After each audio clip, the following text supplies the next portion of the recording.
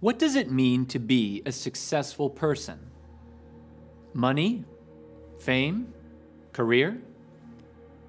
Good looks, nice things, a favorable reputation? Or is success something deeper and less worldly? Jesus asks, What will it profit someone if he gains the whole world and loses his soul? I'm Andrew Petiprin, Fellow of Popular Culture at the Word on Fire Institute. Cinema often uses athletic themes and motifs to depict the nature of success and failure. In a world of winners and losers, great films about physical excellence put into perspective what success physically looks like, thereby evoking a deeper, more spiritual reflection. Three films stand out among my very favorites in this regard, and all for different reasons. First, there is Rocky, the boxing film written by and starring Sylvester Stallone. Next, we examine Black Swan, Darren Aronofsky's beautiful, terrifying modern tale about the vain quest for perfection. Finally, we focus on Chariots of Fire, which depicts two famous British runners, Eric Liddell and Harold Abrams. Very different men with very different goals, who both won gold medals at the 1924 Olympic Games in Paris. Rocky was the surprise hit of 1976. Sylvester Stallone wrote and starred in the film, earning him Academy Award nominations for Best Original Screenplay and Best Actor, a double honor shared with only two other men film giants Charlie Chaplin and Orson Welles.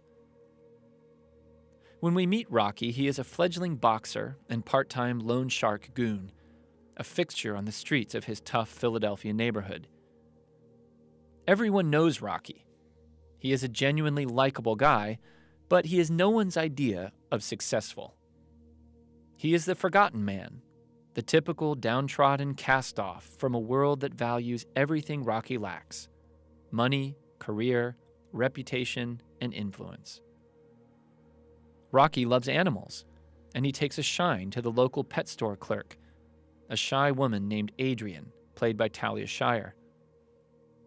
Adrian's brother Paulie belittles Adrian for her looks and personality. Like Rocky, Adrian feels like a loser, a nobody. They're both 30 years old and have been made to feel they're past their prime. Whatever success Rocky and Adrian could have had has just about passed them by. But in the romance that develops between Rocky and Adrian, we begin to see both of them transcend the labels and expectations that have been placed upon them. Maybe, we begin to think, success is something other than what the world says it is.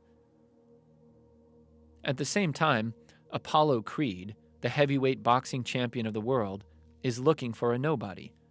That is, a nobody from the right city with the right name.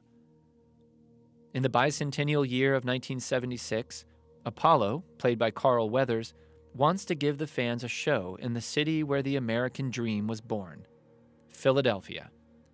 And the Italian stallion is just the man to be seen as a recipient of true American generosity. But what if Rocky is more than a likable punching bag? What if he's not a loser? Adrian says to her brother Paulie, Einstein flunked out of school twice. Beethoven was deaf. Helen Keller was blind. I think Rocky's got a good chance. Rocky's good chance is encapsulated by one of the most famous scenes with one of the most famous pieces of music in movie history the great training montage that inspired countless imitations. Rocky's up at the crack of dawn. He's running with bricks in his hands and doing one armed push ups. He's pouring sweat in the gym and beating up sides of beef in a meat locker. Rocky sprints up the steps of the Philadelphia Museum of Art, looks out on his hometown, and raises his arms victoriously, joy radiating from his face. Whether Rocky wins or loses a particular boxing match on a particular day doesn't really matter anymore. Rocky says to Adrian the night before the fight, I was nobody, but that don't matter either, you know? Because I was thinking, it really don't matter if I lose this fight. It really don't matter if this guy opens up my head either. Because all I want to do is go the distance. Nobody's ever gone the distance with Creed, and if I can go that distance, you see, and that bell rings and I'm still standing, I'm going to know for the first time in my life, see, that I weren't just another bum from the neighborhood. And go the distance, Rocky does. Although he loses the fight on a decision, Rocky makes it to the end of the 15 round bout without getting knocked out by the greatest fighter on earth. With his face smashed and bleeding, Rocky doesn't care to hear the decision being announced or to field questions about a rematch. Adrian makes her way to the ring telling Rocky, I love you. He replies, I love you. Now there's success. Darren Aronofsky's Black Swan is about purity and perfection, about the clean lines and elegant movement of classical ballet. In some ways, a bit like boxing. It's about technique and discipline, requiring superhuman agility and endurance. But in Black Swan, ballet is the vehicle for a journey through the cold pursuit of achievement and the obsession with success, embodied by Nina, played by Natalie Portman in a once in a generation performance for which she won the Best Actress Award at the 2011 Academy Awards. Nina dances in the company at the New York City Ballet, and she aspires to be a prima ballerina in one of the most famous roles in all of classical dance the dual part of the white and black swans in Tchaikovsky's Swan Lake. Nina lives in a New York City apartment with her overbearing stage mom, Erica, played by Barbara Hershey. Nina's life is highly regimented, forsaking most normal comforts, friendships, and romantic attachments for the sake of perfecting her craft. She dances until her feet bleed. She lies about pain and fatigue. And she either pushes away or throws up the small number of calories she is allowed to eat each day. She lives the part of the white swan every day, a pure, spotless creature. When she auditions for the leading role, however, she fails to capture the black swan, she ends up getting the part anyway, a professional success which, instead of bringing her joy and satisfaction, leads her into madness. Nina continues to struggle with her mother's overbearing nature, paired with the lecherous manipulations of Thomas, the show's director. Nina works maniacally on her technique, but she is constantly told that she needs to loosen control, to let go. I just want to be perfect, she repeats quietly to herself. But observing Nina's friend and rival Lily, played by Mila Kunis, Thomas says to Nina, Watch the way she moves. Imprecise, but effortless. She's not faking it. Nina begins to abuse herself in various new ways, finally unleashing the black swan within her just before she is due to return to the stage for the finale of the show.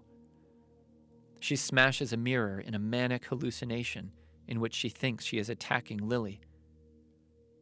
As the final notes sound and Nina falls to the ground, she is bleeding profusely from her abdomen from a large shard of glass from the broken mirror. With the crowd roaring in the background, the bright stage lights above her, and the entire cast, including Thomas, looking down on her in admiration and horror, she whispers, I was perfect. As the screen fades to black, we know this can't be what success looks like. In Hugh Hudson's 1981 classic, Chariots of Fire, we consider the idea of success that we have explored so far in Rocky and Black Swan in a more overtly theological way. Chariots of Fire is about the historic 1924 British Olympic track and field team, focusing most of all on two equally gifted but very different men. Harold Abrams, played by Ben Cross, and Eric Liddell, played by Ian Charleson. Harold is a brilliant, brash lawyer in the making. When we meet him, he is beginning his undergraduate education at Cambridge University, where the mood is somber. The young men in Harold's class are made keenly aware that their immediate predecessors, the brightest and best, the most potentially successful men of the British Empire, have mostly just about been wiped out in World War I. All the new students are haunted by the specter of the lost opportunities of the glorious dead. But Harold lives with an added anxiety. In a world of at least nominal Christians from old English families, he is the son of immigrant parents and a Jew. How will he succeed? The answer? He is a blazingly fast runner who accepts all challenges and pushes himself to the limit to be the best at everything.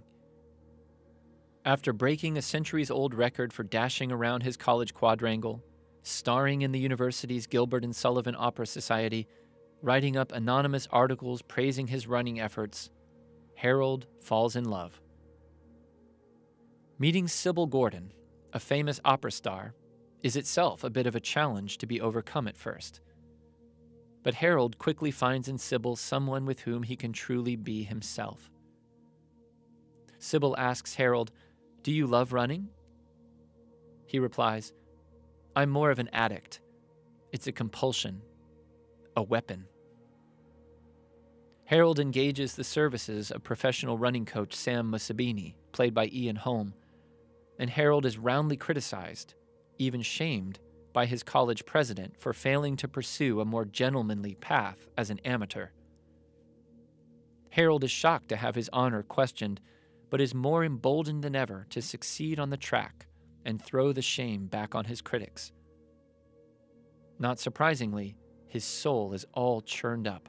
As he prepares to run in the 100 meter finals at the Olympics years later, Harold tells his teammate Aubrey Montague, I'm forever in pursuit, and I don't even know what I am chasing. Harold then describes the stakes as he perceives them for his success or failure. I will raise my eyes and look down that corridor, four feet wide, with ten lonely seconds to justify my whole existence. Harold finally confesses, I'm almost afraid to win.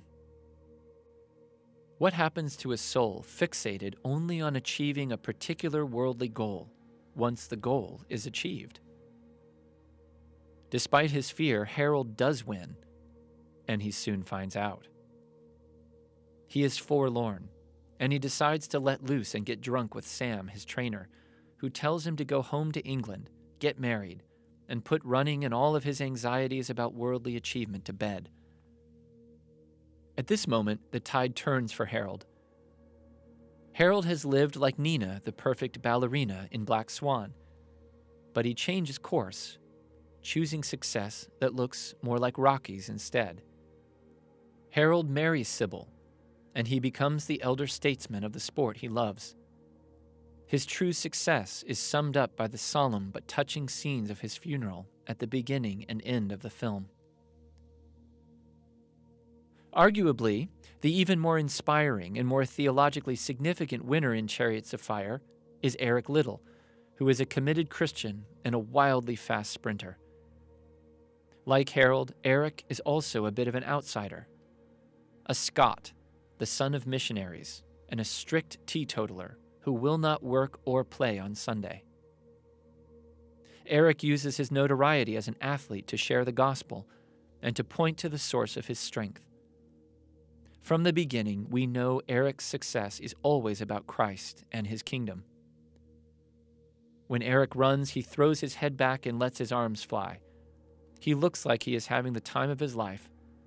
And knowing that he has a rich prayer life, love of Scripture, and a passion for preaching and teaching, his athletic prowess demonstrates what Pope Francis calls the Evangelii Gaudium, the joy of the gospel. After one track meet, Eric gathers the crowd around him in the rain and tells them, Where does the power come from to see the race to its end? From within. Jesus said, Behold, the kingdom of God is within you. If with all your hearts you truly seek me, you shall ever surely find me. If you commit yourself to the love of Christ, then that is how you run a straight race. Here we see a truly successful man in the eyes of the world, but he prescribes a heavenly recipe for success instead. Eric runs into trouble with his beloved sister Jenny, who wants him to focus on the missionary work they are doing together in Edinburgh instead of training so intensely for the Olympic Games. Eric takes Jenny on a walk and tells her that once the Games are finished, he is planning to go to China as a missionary. He says, I believe God made me for a purpose, but He also made me fast. And when I run, I feel His pleasure. Eric makes the Olympic team and is on a collision course with a gold medal, the same medal that Harold Abrams wants. But he learns that in order to achieve it, he will have to break his sacred principle and run on a Sunday. Eric refuses, provoking an English aristocrat who is a member of the British Olympic Committee to bark at him. In my day, it was king first, God after. Eric will not budge, causing another team member, Lord Andrew Lindsay, to give Eric his spot in a different race. When Eric finally lines up for his race, an American runner, just as enamored as Lord Lindsay is with Eric's joy of the gospel and his commitment to true success, puts a note in Eric's hand reading, It says in the old book, He who honors me, I will honor. Seconds later, Eric has won his gold medal. In the New Testament, St. Paul equates the fullness of life with God, real success, with running and fighting. He tells his protege Timothy, I have fought the good fight. I have finished the race. I have kept the faith. He tells the Corinthians, I do not run aimlessly, nor do I box as though beating the air. Paul traveled all around the Mediterranean world he was imprisoned, shipwrecked, bitten by a snake, and he found himself at the end of his life under house arrest in Rome. None of this looked like success to the world, but was more than victory in the service of God. Paul ran and fought, and maybe even danced a bit too. At any rate, we know he got up in front of people and commanded attention. The mark of Paul's success in life is that despite all his trials and tribulations, despite getting knocked down in the ring and running out of breath on the road and collapsing on stage, he never despaired. He never forgot what his goal was, and he never forgot where his strength came from. He went the distance. May our success look in the end like Paul's and the Lord whom Paul served.